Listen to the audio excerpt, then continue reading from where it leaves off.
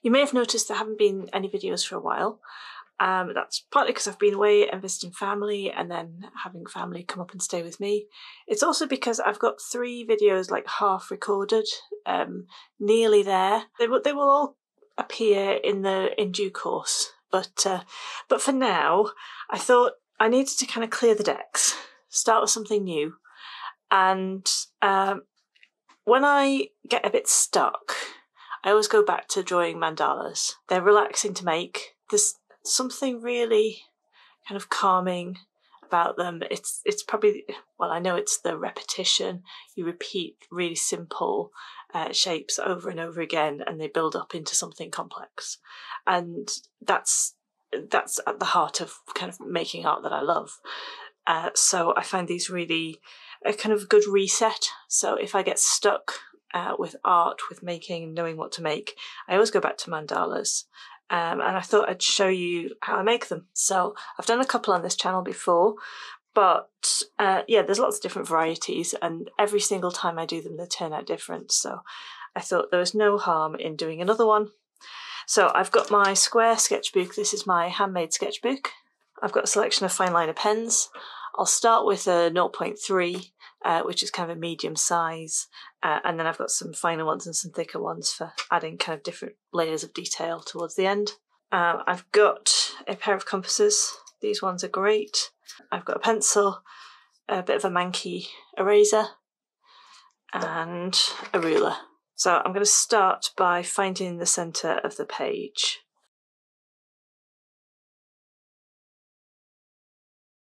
Okay, now I'm going to make a guide. So I'm going to decide how big I want my mandala to be. And I can go as big as 10 centimetres, so why not? So let's bring my compasses out to 10 centimetres. Place that in the middle and then draw a circle. So I'm going to do an eight segment mandala. So I am going to uh, need to do a little bit of measuring for that. But uh, what I can do now is I can draw concentric circles all the way into the centre. And I'm just going to go down at maybe two centimetre intervals. So these ones are eight centimetres.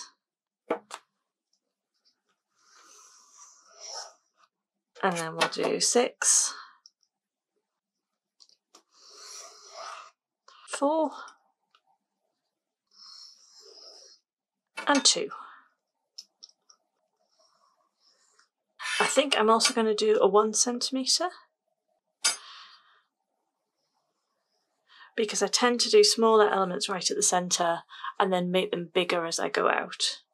I may even do three as well. You don't have to make these regular, you can make them whatever distance you like. You just want to put in enough to give you guidelines to follow. So I think that's going to be uh, a good start. So now I'm going to measure. So let's see, I'm going to measure halfway in from the page, and that's 10.5. So if I measure 10.5 in from the top as well, there we go, and from the bottom, then that will give me a vertical line. Now I can use, so I'm going to use the 8 centimetre line. And I, it doesn't matter what size you make these as long as it's more than halfway. And I'm just going to make um, some marks there. And then from the 8 centimetre line at the top, and I can make another mark there. And then that should be divided into four. Of course, if I'd got more paper at the edge, I could have done it from the 10 centimetre mark, but I would need to make the cross kind of about here, so off the edge of the page. So I did it from the 8 centimetre mark instead. Now I want to divide this in half again. So I'm going to do the same thing. So I'll take it from the 8 centimetre mark one there. Oh, let's do the other side as well. One there one there.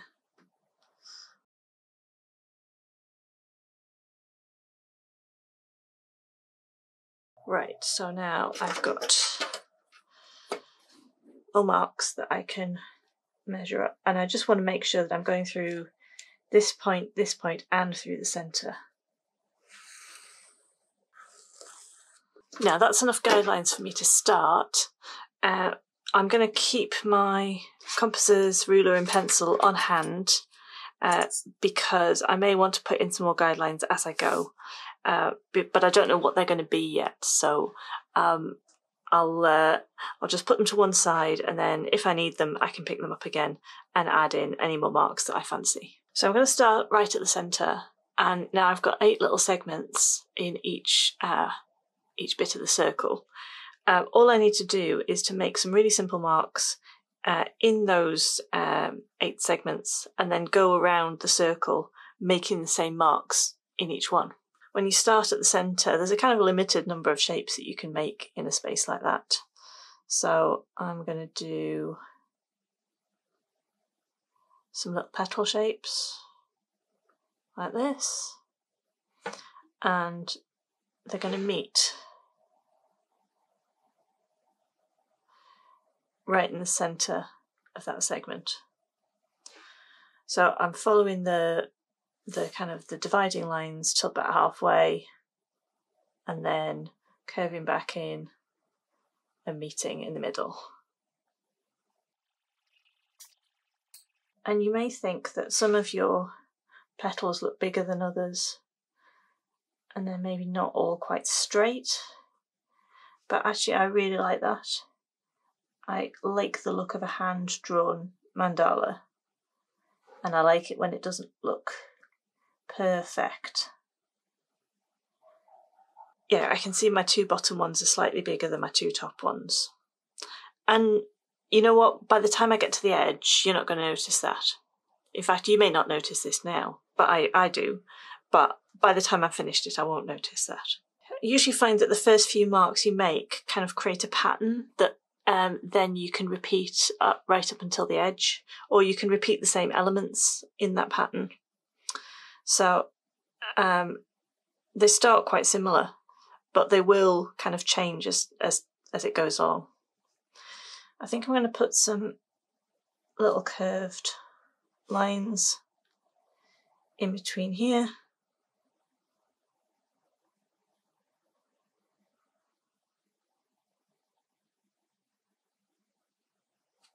Like that.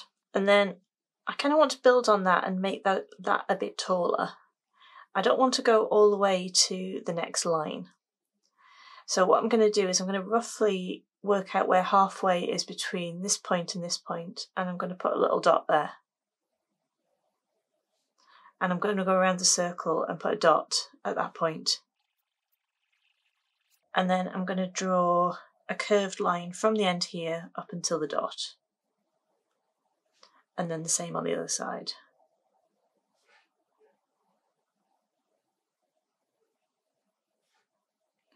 And that helps me keep them fairly even.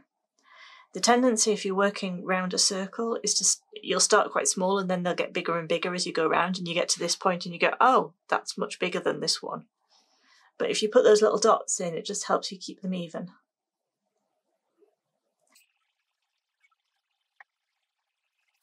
So now I've kind of repeated this petal shape and I've kind of made it double the size and overlap, which is quite interesting. So I could repeat my little curved line here in between these, and I think I'll do that. And then what I'm going to do is I'm going to not bring that to a point. I could bring that to a point up here uh, and fill in this little petal shape here, but I'm going to keep that curved shape I'm going to join this point to that point with a little curve. And I can see from my first one that there's a bit of a gap between the top of the curve and the next pencil line. So I'm going to try and keep that same gap all the way around. So now what I think I want to do is go back to this shape here, right in the middle, and repeat that. So you tend to, oh, I tend to alternate between kind of filling in in between shapes. So now I've got a little V here, so I kind of need something to fill in there. So if I repeat that kind of petal shape, maybe come to this halfway point here.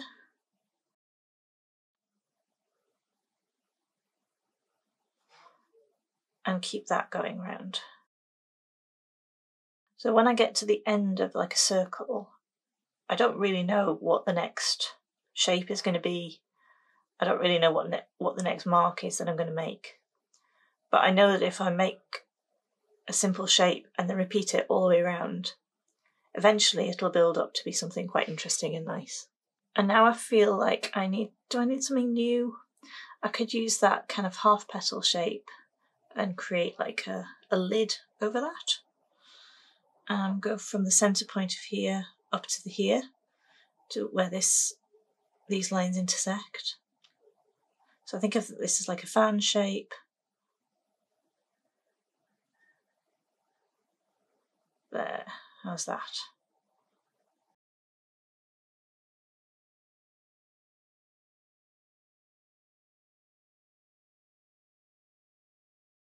And you'll probably see that some of my little kind of petal shapes are a bit wobbly as well. They're not all quite the same shape. But again, I quite like that. So now again, I've got these V shapes and I could do with kind of repeating this pattern of this little half circle or the little arc and just put that in there. And then I could repeat that by putting the same arc shape up here, but I think that's a bit predictable because I've got exactly the same shape in the kind of the layer before. So I want to do something a little bit different. So yeah, so what I might do is instead echo this shape coming up to this point here. And then I've got this kind of curve here, so I'm going to try and mirror that curve that come to come down there, like that. Same on the other side. I'm just trying to mirror this shape. And then when I come to do the next one, I'm going to try and mirror this shape, but do it here. Like that. And then the same on the other side, I'm mirroring this shape and coming down here. And carry on all the way around.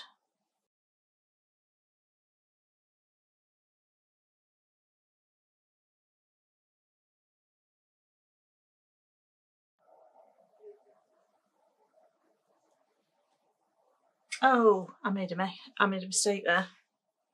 Never mind. You know what? I'm going to make the line that I would have made anyway. That one. And then I'm going to keep going. And then you know what? If I repeat this mistake all the way round, I reckon that's going to look quite nice. So let's do that. So from there up to the corner.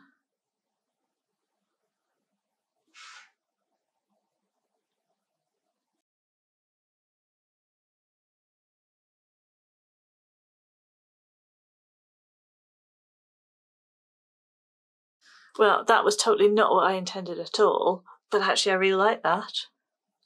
And now I'm wondering if I can put this kind of shape in anywhere else could I go back and yeah, I think I could go back and put that kind of double line in here as well.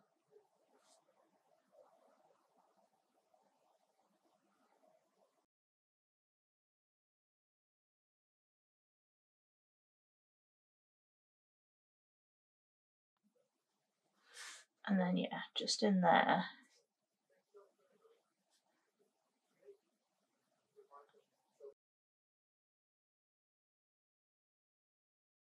So yeah, so what was a mistake has now made my drawing look a lot more interesting.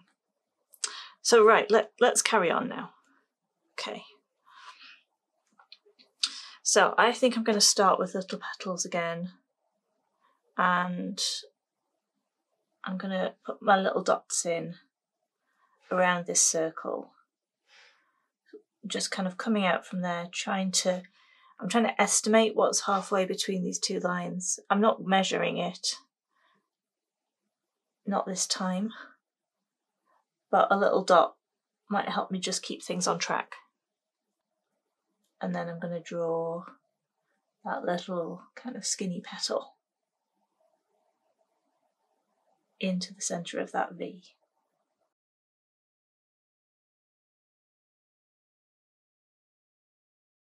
So, do I need something around that? Over it?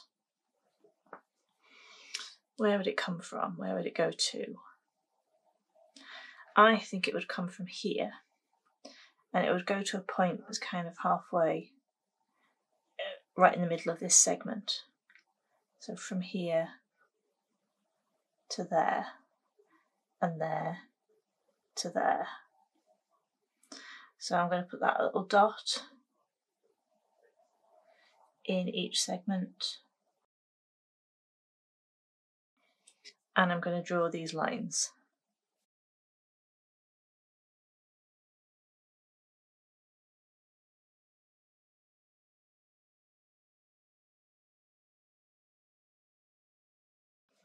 Now I think is the time to repeat this little fan shape. And so I'm going to do that in here. Um, whereabouts? Not sure. Kind of want it to go up here, like that. And this one's getting quite big, so at this point, I'm going to bring in my compasses again. And I can draw a little series of arcs around the circle.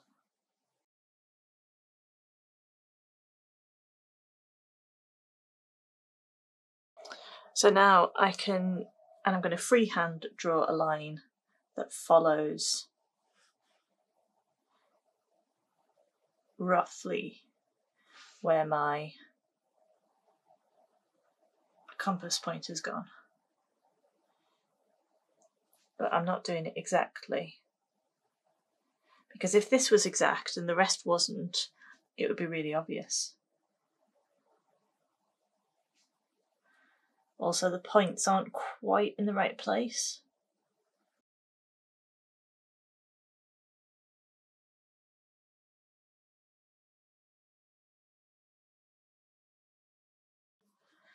Now I want to put in a, a circle below that that echoes that shape.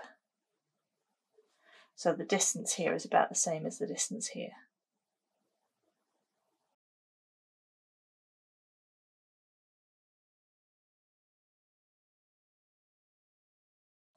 I'm going to pull my paper down a little bit and work on one section and, and then move my paper around now.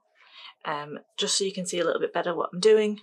Uh, but also when I'm drawing these big lines, it helps me to turn the page so that I can get them more even. So I'm going to do my little petal shapes, same here, same here, same here.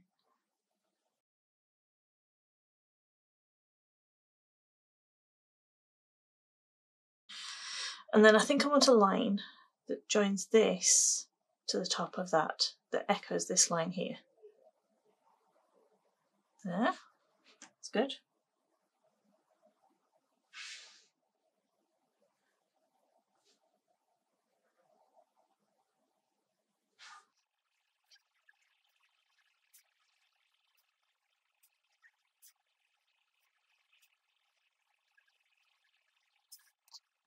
I said I was going to curve the page, didn't I? And then I didn't. Never mind. Hope you saw what I was doing. Right, now the obvious thing here seems to be to join this and this with this point here. Again, with that kind of curved petal shape.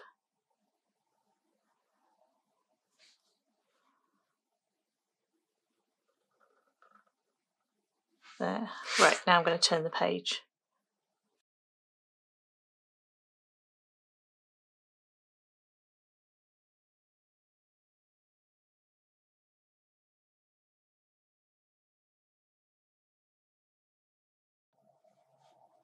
doll. See what I did there? Gone too far.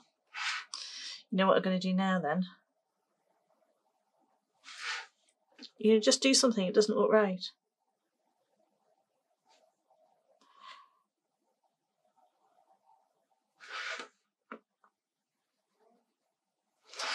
Right, so I'm going to have to go round and repeat this mistake all the way around as well. Oh, what a shame. What a shame.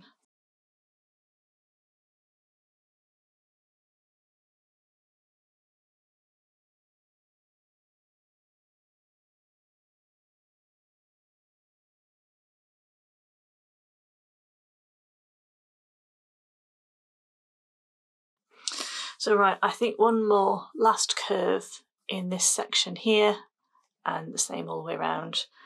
Um, and again, I'm going to use the compasses. Let's go from this point and see how that works.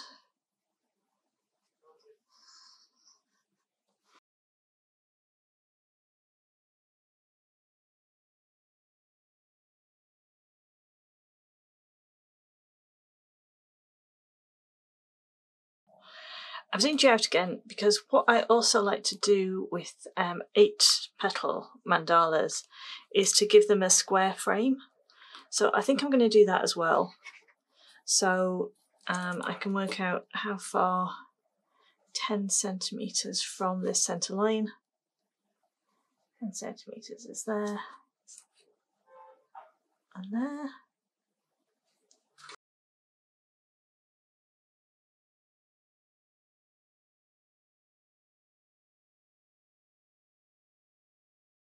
And then let's bring that in a little bit so um, bring it in.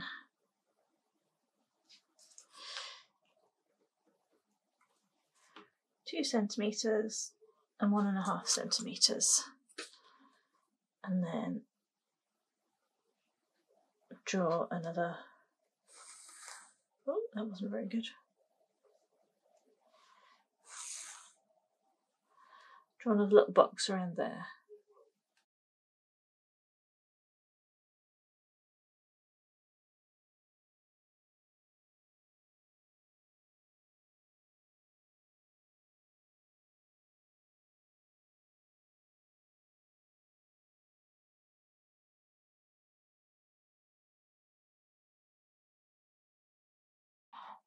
Uh, in each segment I'm going to draw my little petal. That's a good start. And I'm only going to draw them in the corners. These ones.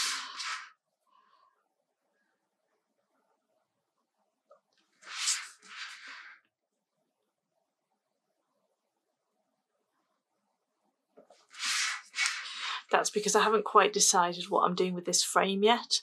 Some bits of the frame are going to go behind the drawing and some bits will be in front. And I'm not quite I'm not quite decided yet, so I'm having to think about it. And while I think about it, I'm just doing these ones. Right. So I'm going to draw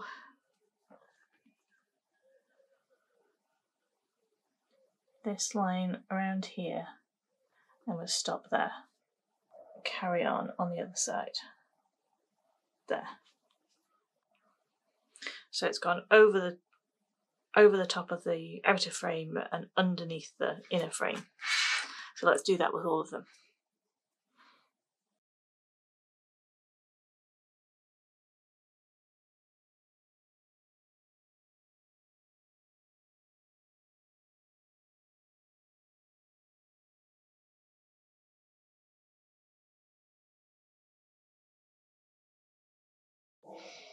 So I want to repeat that line and I want to be sure that you can see that that's, that's kind of going underneath there.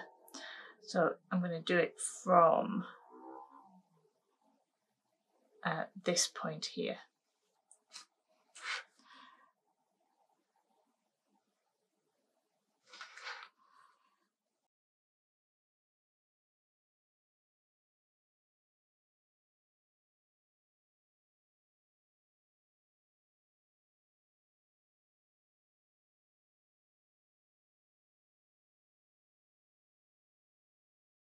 And then you know what? I am going to put these little petal shapes on the four extra points because I think that would look good.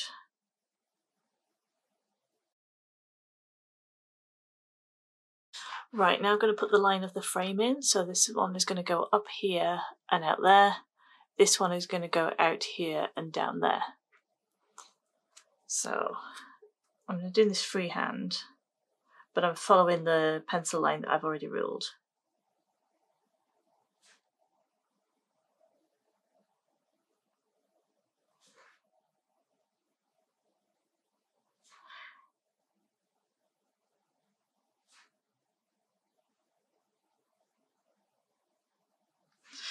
doing the frame makes it much more complicated. So if you if you are struggling with this, then just leave it out. Just just do the mandala, just do the circle design. It's absolutely fine. I just like to make things a little bit extra because I'm awkward. I can never just do something simple.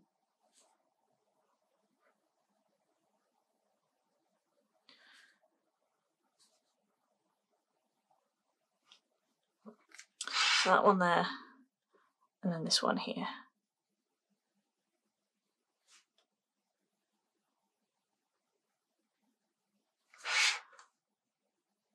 And then this one, I stop there and start again on the other side.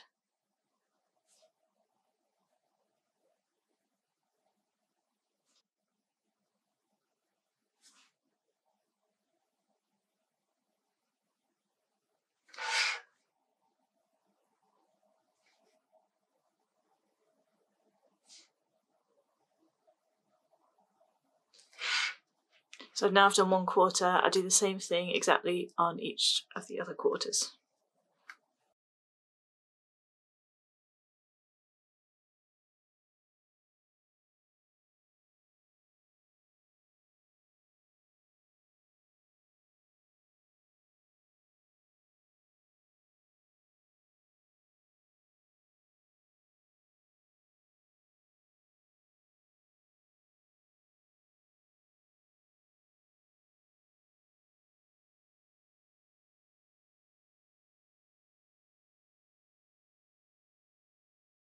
Now I've worked my way from the centre all the way to the edge and you may think that this is finished, but to me this is not, this is only the start. Um, what I'm going to do now is go back to the centre um, and start adding in details. So I've got more different size pens. I've got a nice fine one, a 0.1, and then I've got some thicker ones, 0.5, 0.8, and I'll use these to colour in some areas or to thicken up some of these lines and then I'll use this one to maybe kind of draw some double lines or to shade some areas in with um, stippling or some fine lines. I've not decided yet because I'm making this up as I go along. But first, because this drawing is getting a little bit confused, I'm going to take away uh, my pencil markings so far uh, and see, it helps me to see what the what the actual mandala looks like and not get confused by all of the guidelines.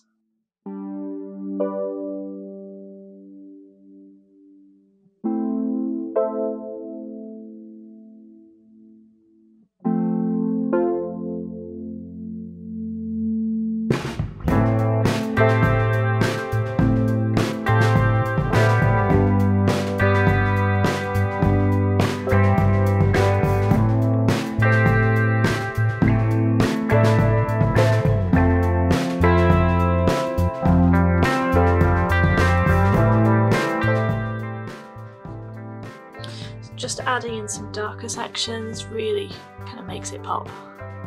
You also want to make sure you leave some white space as well.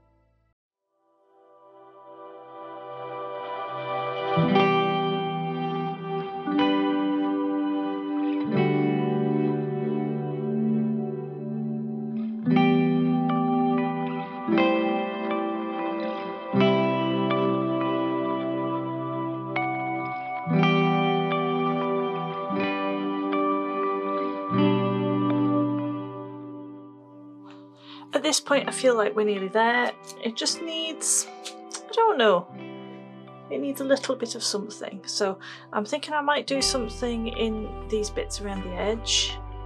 And then I think there's something more needed in the centre, so I think I need a little bit more darkness in there. Hello darkness.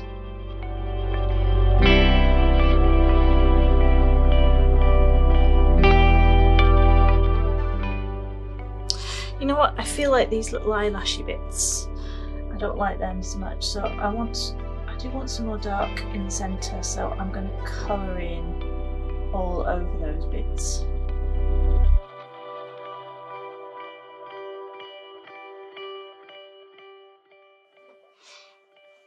It's always a worry doing this because you never know whether you're making it better or worse. And once you do one, you've got to keep going.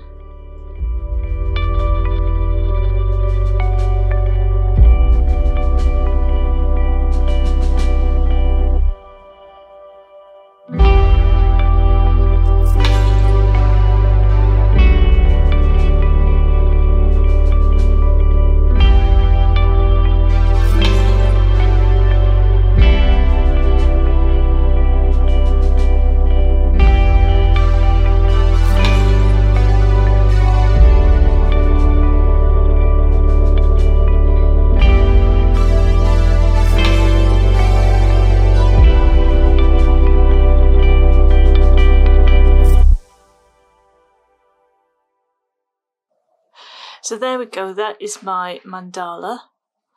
And I'm, what I'm going to do is I'm going to scan this in and put it as a colouring page on my website. So if you fancy having a go colouring this in, then you can download it from there.